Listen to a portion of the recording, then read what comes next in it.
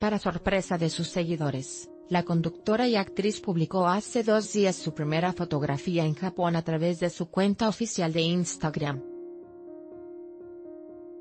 Y volver a sentir ese vuelco en el estómago al llegar a un lugar por primera vez, escribió para compartir la emoción de este viaje. La ciudad de Kyoto es uno de los escenarios que aparecen en este recorrido familiar.